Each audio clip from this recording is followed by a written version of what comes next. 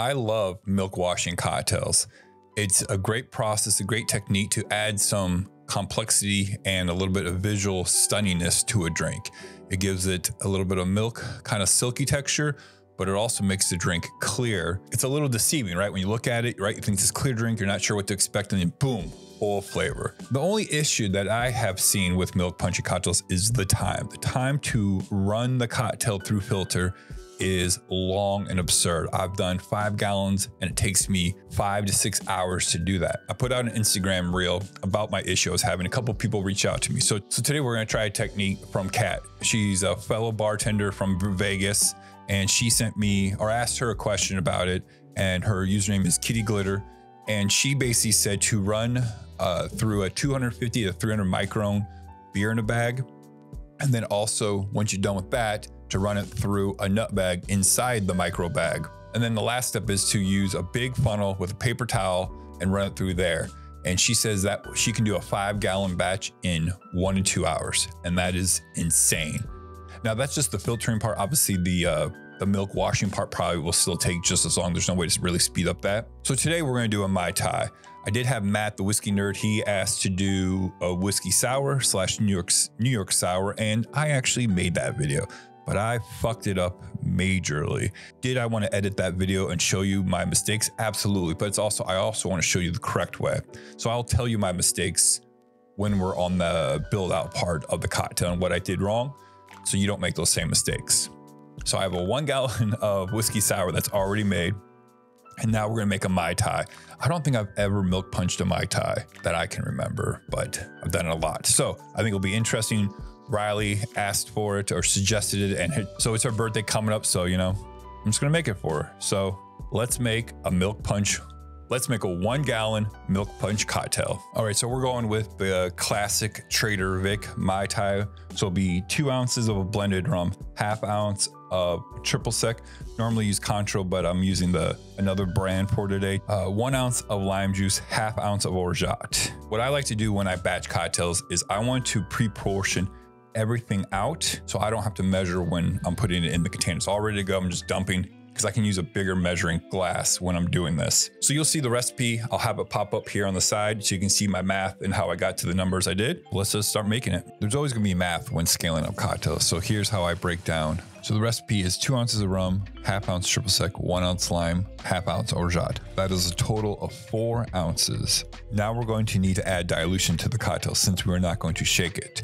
You'll see some videos out there that do 20%, 25%. I'm going to do 15% and I'll explain that later. So four ounces times 15% is 0.6 ounces of water. So that is a total volume of 4.6 ounces for the beverage itself. A gallon is 128 ounces. Divide that by 4.6, and you have 28 cocktails that we can fit into one gallon. I'm gonna go ahead and round up the recipe to 30 drinks because two ounces of rum times 30 is 60 ounces, and that is how much is in a 1.75 milliliter bottle of rum. Then what you do is take 30 times every ingredient. 30 times 2, 60 ounces of rum, 15 ounces of triple sec, 30 ounces of lime juice, 15 ounces of orgeat, and 18 ounces of water. I add those all up, and that is 138 ounces total of cocktail with dilution. To figure out how much milk I need, I need to times that by 0.25 or 25%, and that is 34 and a half ounces of milk. You want to combine all the ingredients into the container that is not going to be doing the milk washing. You want to add the cocktail to the milk give the cocktail a slight stir. So I'm going to pour the milk into a, the container that I want to milk wash. Then I'm going to pour the cocktail into the milk. And here you go. This is one gallon of a milk wash of a Mai Tai. So I wonder if the orgeat will play enemy to the whole milk. I don't know, but it is curdling right now. So that is a good sign that it is curdling. I just don't know how much it's going to curdle and start that process. So we're gonna give it a try. It is still like 30, 35, 36 degrees here in Iowa. So I'm just going to cover this up, put it outside. You normally would just put it in your refrigerator um, and check on it. I'm going to probably give it five or six hours. Obviously, the longer you leave it, the more clear it can get. So we're just going to go five, six hours and we'll check back. Okay, so this is the first part I screwed up in the first video. I had just taken the micro bag and I fully clamped it to the container without thinking about how am I going to remove this bag evenly and easily. So what I'm doing here is I'm de- deciding where I want the bottom of the bag to be inside the Cambro. I'm going to clamp it to the Cambro in four spots on the four edges so it doesn't move on me anymore. I'm going to roll the outside back up so I can manage all the excess bag in an easier way. So now what I'm doing is scrunching up the corners and I'm only clamping the bag itself, not to the Cambro. My thought behind this is, is if I lift the bag up, now it's kind of like in a perfect square shape. So when I move it to another Cambro, it just kind of lays in the same spot because you don't want to move the bottom of the bag around a lot. I don't want to disrupt the curdles to mess up the filtering process. And as you can see, the, the milk wash does have a really good separation of only being four to five hours. And again, I'm just adjusting it, making sure everything looks fine because once you have all that weight of the milk in there, it's kind of pain in the ass to move around. So I'm just verifying everything and now we're good to go. The first time I did this, I forgot that I'm going to have to start this process again once once the curve's kind of settled for this part that drops into the bag, for the part that drops into the Cambro. So now what I'm doing is I'm unclamping the edges that were clamped to the Cambro. I'm trying to pick this bag up as evenly, slowly, and nicely as possible without disrupting the curds as much as possible. So this is the part I did not think of the first time I did this, a milk wash of a gallon with the whiskey sour. And now I'm just praying to whoever, the cocktail gods, that this doesn't screw up. For the most part, it's going okay. It's a lot of clamps, a lot of weights, but better than the other time. The reason why you want to move this over, in case you don't know, is that first part that is in the Cambro, that's not really filtered out that much because the curds aren't were not at the bottom of the bag. So you need to kind of like rewash it or refilter it, I guess. And so you need to move your filter to a new container. And so now I'm kind of doing what I thought would work is laying the clamps over the edge of the Cambro. And what I figured out later in this whole process, I didn't need to clamp any of this down on the Cambro itself. I could have just laid all eight clamps on the side of the Cambro. This is part of it, right? You learn as you go. So now I'm going to refilter out this beginning part. And this is the part that just takes a long time because once those curds settle in, there's less space for the cocktail to filter. So now it's just a waiting game no matter what. And this is the part where it takes forever. All right, so now I have the cocktail fully filtered through the curds, and now we're gonna do the second filtration where we add the where we add the nut bag inside of the micro bag. It helps, it's just a tighter filter, so it will filter out any smaller particles that are left behind from this process. As you can see, a little bit of the unfiltered cocktail did go back into the drink, which is fine. This is why we're to do another filter for. I would say the micro bag probably collected you know, 96% of any milk particles or any other particles that are left behind. So we're just trying to get the cleanest looking drink possible. I also like to pour cocktail back into the smaller Cambro because it's just easier to work with a smaller vessel than this huge ass one. Again, I'm going to go through the same process, putting the bag in there, clamping, rolling, and not fully eat so it's easier to remove. Actually, I think this is the part where I realize I don't need to clamp the clamps to the Cambro. I can just roll up the skirt, the outside of the micro bag, and just clamp because the weight of these clamps were significant. Now I'm just going to attach the nut bag to a couple of the clamps inside. Obviously, the nut bag is way smaller than this. So I don't know if there are bigger milk nut bags than this, but it seemed to work fine because again, the weight of the cocktail is going through pretty fast. Once you get kind of to the bottom, there are still some particles of milk and anything else in that nut bag. So the filtering process, the last like 20% does take a little bit longer than the first part, but it does a really good job. All right, so here I'm taking the all the bags off, just putting it in a bowl because I don't need it anymore, but I also don't want anything else to spill out pour it back into the smaller container. Again, it's just easier to work with. And now what I'm just doing is taking a large filter and adding some paper towels. You just want to make sure you fold these paper towels in a way to there's no crease in it or open space when you put the liquid in. So it actually goes through the paper towel to funnel.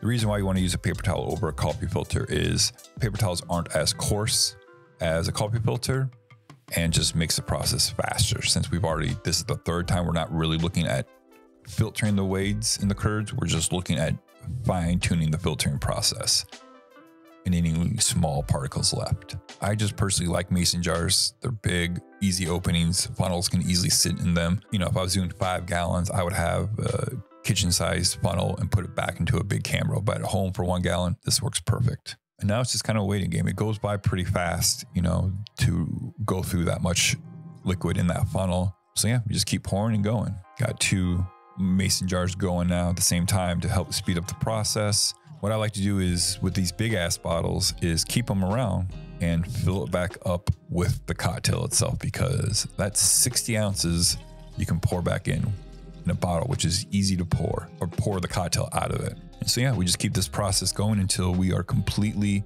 filtered everything through that paper towel, which doesn't take very long at all. So yeah, I think it turned out pretty well. Obviously, it can be a little lighter than the green hue in there, but I'm pretty happy with this. So now it's time to reap the benefits of this process. Pouring it out of the mason jar is not the best thing into a jigger, but it is what it is. So I first start with three ounces, but I will definitely put two more ounces in there because, like I said earlier, the dilution is 4.6 and we just want to go a little extra heavy today. This is where I remembered, oh yeah, two more ounces. You deserve it. The next part is you're probably wondering why am I putting it into a mixing glass? Because I add water for dilution, but I only added 15% dilution.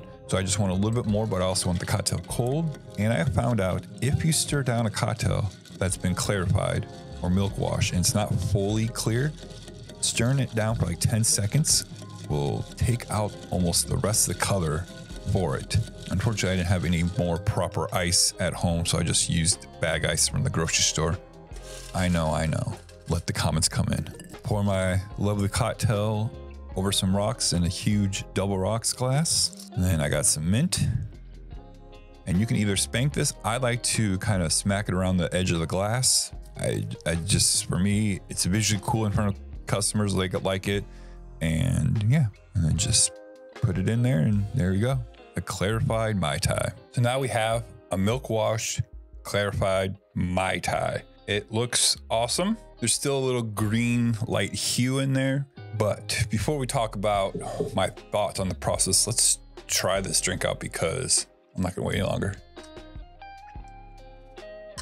I think over with proper ice, it would look even cooler. Maybe even pebble, I don't know. But I think just the contrast of the the clear and the grain from the mint, and with the green straw from Surfside Sips, it looks beautiful. I mean, I, I think that's kind of like a showstopper, right? This is kind of why you do milk wash cocktails. Just visually, it looks awesome. So then it's kind of like the mojito effect, right? Someone sees someone get a mojito, then someone else wants a mojito, someone else wants a mojito. Same thing with this. It's just stunning to look at, you know, like a different glassware, if it was served up, shaken, you know, I'm not talking about just in my time, I'm talking about drinks in general with uh, clarified thoughts on this process. It took me from the time I first started the filtering process. So about two hours and 45 minutes. That's how long it took me. That took me longer than I was hoping. But again, this is only my second time. The first time was with a whiskey sour and I totally fucked that whole process up. So I'm definitely gonna have people who gave me suggestions about this process to watch this video to see what are their thoughts. Did I do something wrong? Do I need to improve on this or that? I could definitely see this is definitely going to be faster than my other way of having like 25 filters and stuff because it's now in one area. It's, it's taking up less room. So even if it does take a while to filter, you can put one thing off to the side. Things that I want to work on for next time I do this. I kind of figured out the bag thing. I want to kind of figure out like a rim for the bag so that rim can be lift you can lift up the rim at the entire time and not just each individual handle of the clamps so it'd be easier process to get it in and out of the cambros definitely probably filter it through the microbiome the first step a second time to get it even not cleaner but even clearer. That's obviously to add more time. And also maybe let it sit overnight while it's milk washed while it's being milk washed. That could be a thing too. If I let it sit there, I only let it sit there for five hours, no, four hours. And this is the result I got. So if I maybe did it overnight, would that help too? So there's a lot of variables, right? And so you have to figure out what works for you, what doesn't work for you. How much clear do you want the drink? You know, do you want it like crystal clear or do you want it with a little haze from the juice? It's all personal preference, I believe. I mean, it's not what I believe it is. It's uh, what do you want to do. So I think this is definitely worth it. It's just going to take a little bit of time and practice with it to figure out exactly how it works for me and how I need to use it in day to day. But you know, it's fun doing these different techniques, learning new things because I'm learning with you guys because you know I'm here in Iowa and my only resources is the internet. But even the internet is not as thorough as just trying shit out, you know. So if you want to watch other video where I'm trying other things out, is I'm no longer double shaking my cocktails with egg whites in it. It's uh, it's just something I've been going over for two to three years now. You can definitely see a video right there of me checking it out.